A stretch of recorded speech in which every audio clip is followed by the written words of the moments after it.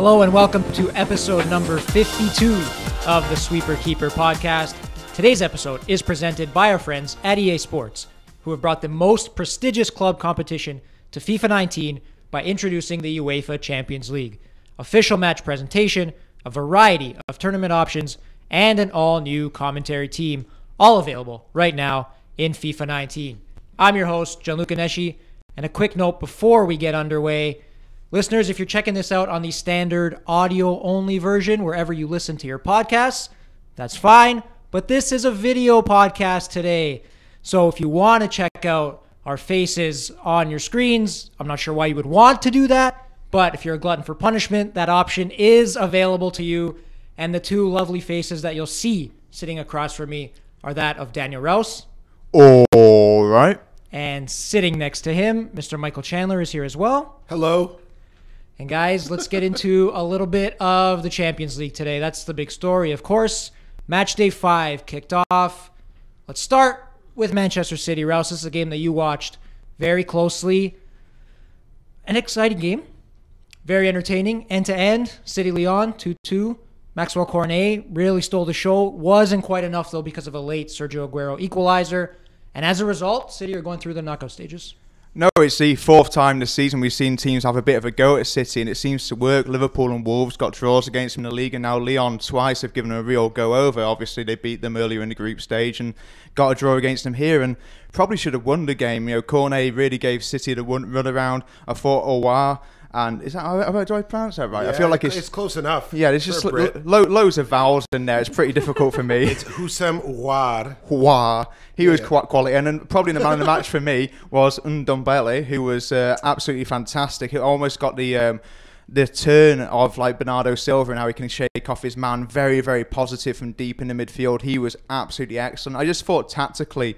Genesio again set up so well against City. The front three as well. You know, Fernandinho had a horrible time out there. He could have been sent off actually. And you know the way they set up with uh, Fekir and the two others either side of the front three, just basically blocking off all the options from playing from the back. And you know, it makes you wonder if you know you don't watch Ligue 1 that much. You wonder, you know, one, why is Genesio not so popular with Lyon fans, and then two, why aren't they putting up a bigger fight with PSG at the top of the Ligue 1 table? That's a great question. Uh, and, you know, I'm going to echo what you said. Full credit to Genesio because there are questions in France about his pedigree as a manager and if he can sort of guide Les Gones over that sort of proverbial hump. But that's twice he's gotten it right against City. We remember in the first leg at the Etihad, that shocking win for Lyon. They set up just one up top and they played Memphis Depay as that sort of false nine, and he was quite effective. And like you said, today it was Cornet and to Depay up front with Nabil Fekir in support with Houssem Aouar and Tanguy Ndombele, two players you've noted earlier, uh, behind him. And and it was quite good. And I think they're I think maybe that's a little bit of a blueprint for other clubs who like to sit back and sort of just defend against City to maybe just have a go at them. Not to uh, discredit the defending though as well. They started with a back three, but they also had the wings back there, and they're just so organised in how they so quickly flatten to a back five when they're out of possession. And the three in the in the middle were so so tight, and you had David Silva and Aguero just trying to twist and turn in the smallest of situations, and it really really frustrated them. And then in the end, City got their two goals by set pieces. Chandler, for people who don't watch a ton of this Lyon side or a ton of Liga in general, um, we know how great they are bringing up young kids and especially the crop they have right now. Of the current squad, who do you think is the most likely to earn a big move to the Premier League, La Liga, Serie A, et cetera, et cetera? Well, for me, the guy, the, the prominent person the shop window is Tanguy Ndombele in terms of a physical, big midfielder who's also very graceful on the ball and good in possession. I think he's sort of that two-way versatile player. Uh, and in saying that, also his partner in the midfield today, Houssem Aouar, we know he's been linked uh, with Liverpool, who were also in uh, the in on uh, Nabil Fekir last summer, and also Ferland Mendy, who got you know his first call up to the France senior side during the Nations League window there. He's a very, very promising young player who actually looks as good going forward as he does defending. So we talk about, you know, Lyon uh, and they're, you know, they're very like uh, famous and sort of like decorated academy, sort of just producing these players. It's definitely for me, uh, Ndombele, Aouar, and then to a lesser degree, the left back Mendy. It's very, very easy to make parallels with the Monaco team of a couple of seasons ago with the young players and the, the really, really great attacking play. And one bit that really pleased me was, you know, I mentioned Fernandinho having a nightmare, could have been sent off. He uh, he gave up a foul in the middle of the park. You know, other teams would have probably gone around the referee and said, "Give him this second yellow. Get this get this fella off this uh, off the pitch right now." But they didn't. They got the ball. They passed it quickly, and then by the end of it, Cornet puts them back in the lead with an absolutely fantastic goal. Chandler, very quickly, Ferland Mendy, the superior left back of the uh, Mendy clan. Well, I don't know if it'll cost you 52 million quid, but just taking the Mickey here because Benjamin Mendy, a player I really, really like, can't seem to keep fit. Uh, but like I said, look, credit to Genesio. And it's a bit strange because Maxwell Cornet, uh, who has now scored three goals in two matches against City, looks to be sort of the, you know, the kryptonite to Guardiola's very, very strong team. He hasn't started yet in the league. He's made eight appearances off the bench as Genesio prefers domestically, some combination of Bertrand Traore. Uh, we've also forgotten about Moussa Dembele, who made the move from Celtic in the summer, uh, as well as Martin Terrier, a player who was very, very good last year on loan at Strasbourg from Lille. Couple all those players together with a Depay who's looked very good in a very forward advanced role this year. And there are a lot of options for Genesio at Lyon. I think, you know, just to flip it on the other side, I think City fans would probably point to a couple of weaknesses in the squad. I've been complimentary of Zinchenko before, and I do think he's going to be important for City this season because of Mendy's uh, injury issues at left back. But I thought he looked particularly lightweight today. And also, Raheem Sterling was almost playing as a central midfielder, as like a number eight. And this is very unfamiliar. Like I kind of imagine Pep turning him into a central, you know, striker eventually. But he was, yeah, as a number eight with uh, Riyad Mahrez on the right hand side, and it worked in spells, but I think overall this is not something we're going to see on a regular basis. You got Pep turning Fabian Delph into a left back, turning Raheem Sterling into a central player. It's just Pep things, man. You know he likes to play around with positions. It's very fluid for Pep Guardiola. So that's the story in Group F from that match, City against Lyon. The other one, probably the most exciting match of the day, actually, Shakhtar and Hoffenheim. You know, Chandler, we talked about all those exciting Lyon players and now they've played City tough twice, beat them once, drew them today, but they're not quite through just yet, and that's because Shakhtar got a late, late, late goal to get a 3-2 win against Hoffenheim, and goals, more goals for Shakhtar from Brazilian players, which has been a theme of theirs for uh, multiple seasons now in the Champions League. Yeah, Taison completed his brace in the 92nd minute to vault Shakhtar to a 3 2 victory, which means Lyon will travel to the Ukraine and they will need at least a point to guarantee progression to the knockout stage. And that is now 82 goals from Brazilians in the Champions League for Shakhtar Donetsk, which is second only to Barcelona, who have 83. So a cool little stat to keep an eye on as we approach match day six. Very important. Do you call it the Ukraine or Ukraine? I call it the Ukraine. which It's just Ukraine, isn't it? I, I still feel like he thinks there's a city called Madras in India, though. He's from a different era, isn't what he? Is, so, is it the Philippines? I think that one is the Philippines. I do call it the Philippines. God forbid I make an error on this podcast. well, we make sure to point all of them out every time you do. Thank you for that. Okay, so let's rein it back in. Like I said, that's the story in Group F. City are through Lyon and Shakhtar battling for that last spot on match day six. Let's flip over to Group H, the other Manchester club. We'll start there because Juve and Manchester United are through in that group. Juventus 1 0 over Valencia. Not particularly exciting. Mandzukic with the goal. Okay, fine. But other than that, a pretty dull one in Turin. Manchester United, even when it's dull and the football is very often dull, there is some kind of excitement. And today it was Marouane Fellaini. Of course, it was Marouane Fellaini at the death with a 91st minute winner against Young Boys. Uh, Chandler, maybe more of note, Jose Mourinho's reaction to that goal.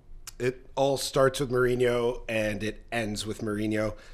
And in saying it ends with Mourinho, he went absolutely postal on, I don't know what you call that, but a thing holding bottles of water bottles and Lucozade. Like, I guess your dentist isn't the only one who dislikes Lucozade, which is a lovely fizzy drink. uh, for some reason, branded as a sports drink. Um, but yeah, Mourinho went absolutely nuts there, celebrating the Fellaini win. And I'm kind of happy for Fellaini. He sort of reminds me of what um, Tottenham's Moussa Sissoko was turning into this sort of laughing stock who's now a cult hero. And Fellaini's 90th minute goal was uh, United's first 90th minute goal in the Champions League since Cristiano Ronaldo did it in 07 against his boyhood club Sporting. But in saying it started with Mourinho, I'm saying that because when the team sheets came out, Alexis Sanchez's name was not on the 18 man squad. Lukaku and Pogba were benched. Uh, the Portuguese gaffer opted for a front three of Marcus Rashford in the middle with Jesse Lingard and Anthony Martial flanking him. And I feel I'm a little gutted for Rashford. He just can't find a rhythm all year. He couldn't hit the target to save his life.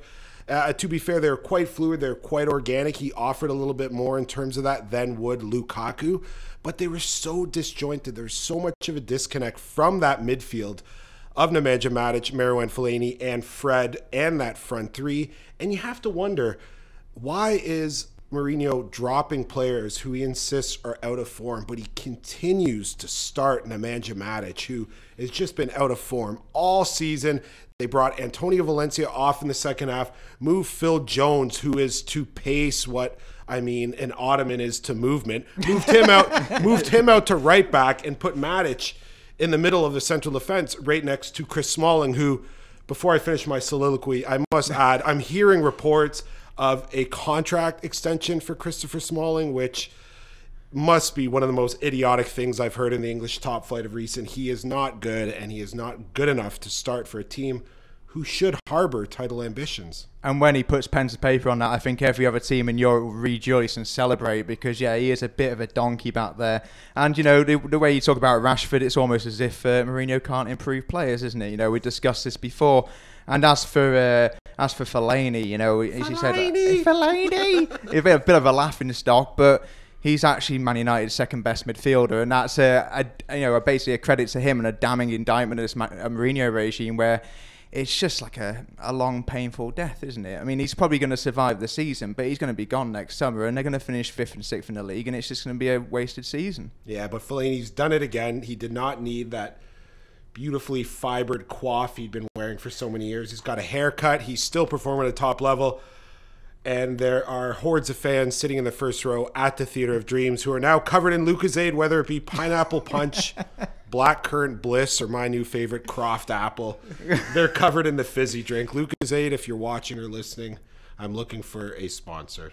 Those all sound delicious. Marouane Fellaini, like a reverse Samson, cuts his hair and still continues to score goals. Not that I am the authority on uh, all things follicle, but uh, the Ricardo Quaresma doppelganger over nevertheless, here. Oh, you look great. You honestly, look great. I was trimming my beard the other day, and I thought I should collect some of this. Take you know, thatch up a nice little ginger tea toupee for uh, for Gianluca here. It'd be lovely. That's too much. Yeah. I wouldn't say that. Yeah, that'd but be like surely a, that a Wayne Rooney esque hair job. But yeah, that incandescent lighting above us isn't helping anyone's. so that's the Group H story. Like I said, Juve and Manchester United are both through they're going into the final match. Top spot in that group, still not quite decided. United, in theory, could leapfrog Juve, Juve, excuse me, for first place. Juventus on 12 points, Manchester United on 10. You would think Juve will be able to lock it down. They play young boys in match day six. So that's Group H. And let's flip over now to Group G. Real Madrid, Roma, Viktoria Pilsen, CSKA, Moscow. This was actually decided in the early matches of today with a big surprise. Viktoria Pilsen beating CSKA Moscow, going away to Moscow and winning. That result saw Real Madrid and Roma lock up their places in the knockout stage.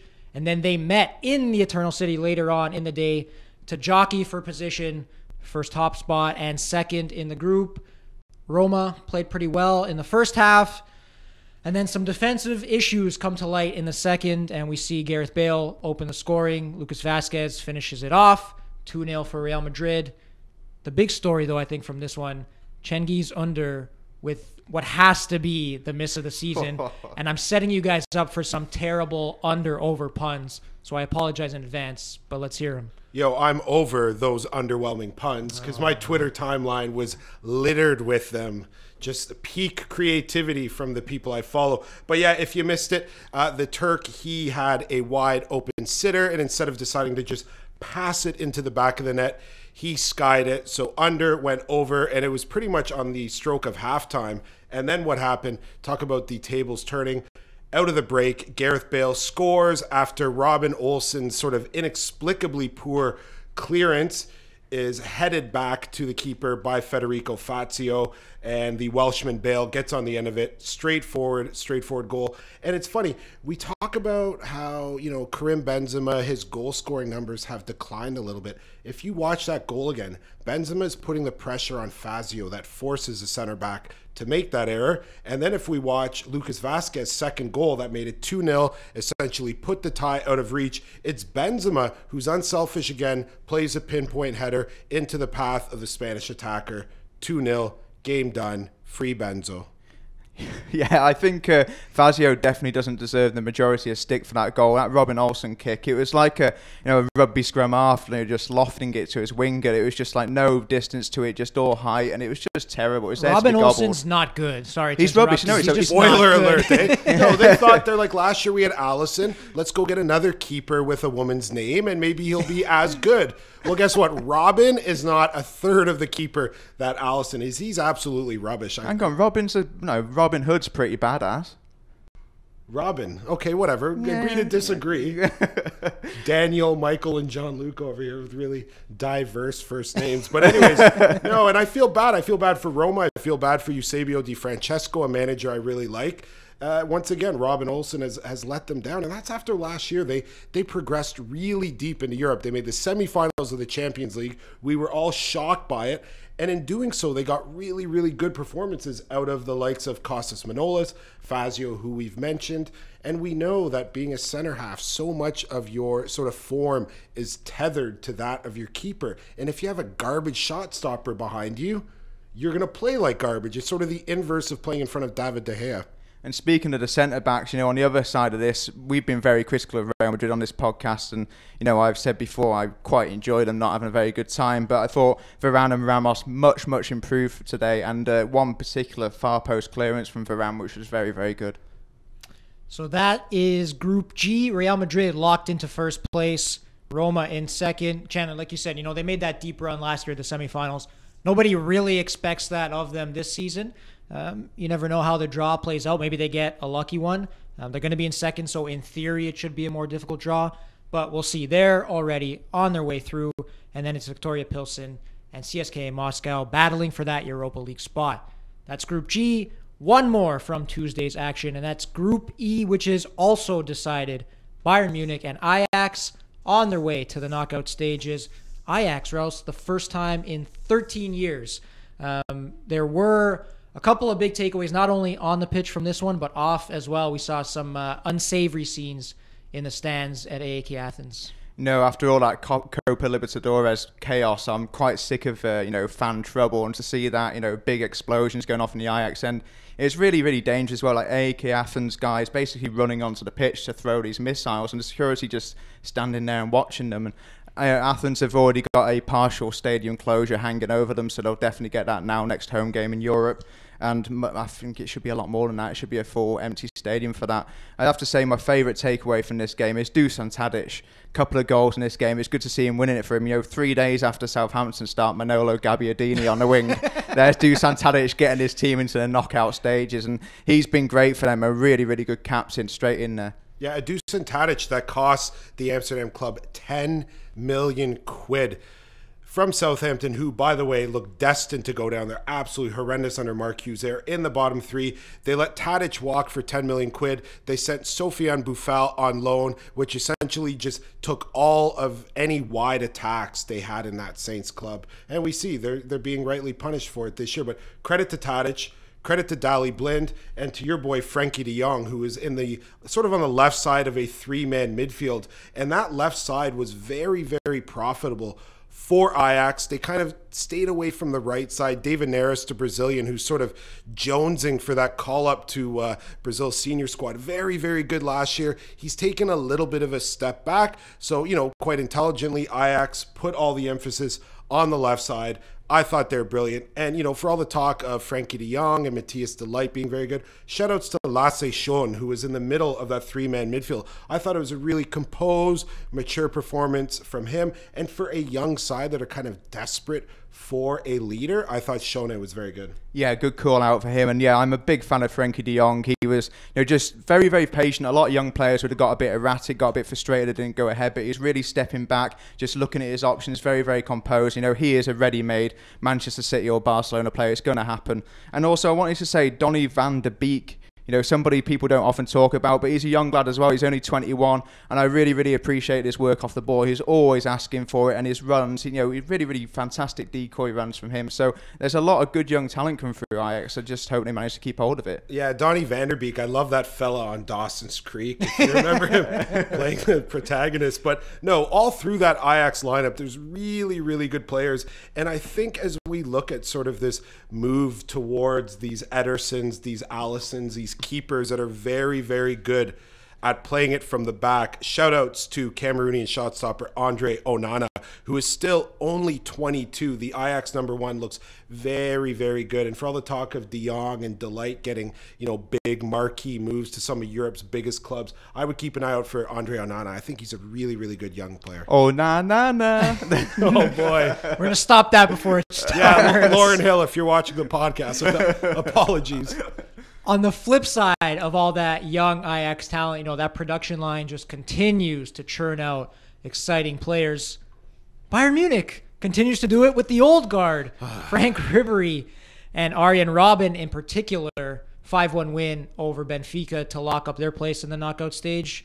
I mean, it's like we're in 2005 all over again. Robben and Ribery continuing to do the business for Bayern. Yeah, maybe not. They're not quite as decrepit as we thought they were. They're probably only about two, maybe two years away from getting signed from West Ham today. Oh. Now, West Ham, you know, they normally scout players around the 2011, 2012 mark. I think two more years, just let them disintegrate a little bit more, get them in that West Ham side. If Arjen Robben ends up at West Ham, come on, Ribery maybe. Trashing the Hammers. I'm gonna give Sammy Nasri your home address, buddy.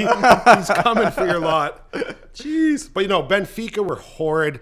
I mean, look, uh, credit to Lewandowski. He now has 51 goals in Europe, becoming the seventh player to reach the milestone of 50 goals in the Champions League, and the third quickest after Ruud van Nistelrooy and someone named Leo Messi. So, quite the accomplish- accomplishment for him. And for Bayern, a straightforward result that will have manager Niko Kovac breathing a sigh of relief because domestically they're sitting fifth. They are nine points adrift of rival Borussia Dortmund for the top spot in Germany. And there's been a lot of talk of Niko Kovac's first season at the Allianz Arena ending prematurely with reports of Arsene Wenger potentially taking the job, which I would love. Uh, I love Germany. And uh... uh, what did you think about Jerome Boateng losing possession? Uh, from where I'm standing, I did not see the incident, but I trust my players. We work on that on the training ground. So that is Group E. We'll close it out with Chandler's lovely impression of Arsene Wenger. Bayern and Ajax are going through. And that's the story for Tuesday's Champions League action, gents. Tomorrow we do it all over again with uh, a little bit of a more exciting slate, I think I would say, including the big one, Liverpool against PSG, which Chandler, I know you are very much looking forward to. I am absolutely chuffed to watch that match. We found out today that both Mbappe and Neymar will start. And you know, it was kind of funny. Jurgen Klopp was talking uh, in the Liverpool press conference about we're actually happier to know who we are playing against. It's easier for us to prepare. We're not sure if Sadio Mane will be fit to play, so an opportunity for someone to step into that front three alongside Mo Salah and Roberto Firmino potentially. But I'm expecting a really, really kind of gangbusters performance from a PSG side who have lost once this year it was the fixture at Anfield where they were horrid. They have since gone on a run of 12 matches unbeaten, pairing 10 victories with two draws, and they've outscored opponents 38 to 7 over that spell. Cavani's found form. Neymar Mbappe are fit. Watch out, Liverpool. I'm personally most excited for Tottenham into Milan because obviously Tottenham is a must-win game. We've just seen them play fantastically against Chelsea in the league, and you know see this reborn Moussa Sissoko do this kind of N'Golo Kante light role. uh, you know see Son, Eriksen, and Kane up front. I'd like to see Harry Winks put in a lineup just to kind of retain possession a little bit more, but I think that is just to really test this Tottenham side's mettle a little bit. See them go out there. Yeah, and you know what, Luciano Spalletti, the Inter manager, if you're watching or listening to this podcast, I'm sure he is. Everything and the kitchen sink at the Spurs because on the weekend they have a little match, a little visit to the Emirates Stadium up to Holloway Road to face Arsenal, who I support. This is on video. Can you see my Marouane Chamakh jersey right now? this is like one of a kind. Chamakh's mom doesn't own this, okay? So Chamakh himself probably doesn't even own his own. he's probably Arsenal sold kit. it to Sammy Nasri. Oh my goodness. So that is the story tomorrow. A couple big ones to watch out for, and we'll be back here to break all of it down. You get to look at our lovely faces again one more time. Apologies for that. Really sorry. That'll do it for today, guys. So thank you very much to Danny Rouse Thank you. and to Michael Chandler Thank you. and to producer Gino. Uh, no, no, no. Come on, come on. Thank you, Gino, for buying us dinner tonight. Thank you. He's obligated to do that now. It's I on a think so. podcast. Yeah, Yeah, I think that, so, That yeah. sounds right. To be determined at a later date. I'm Gianluca Nesci. Thank you guys, most importantly, for listening or watching. I'll talk to you later.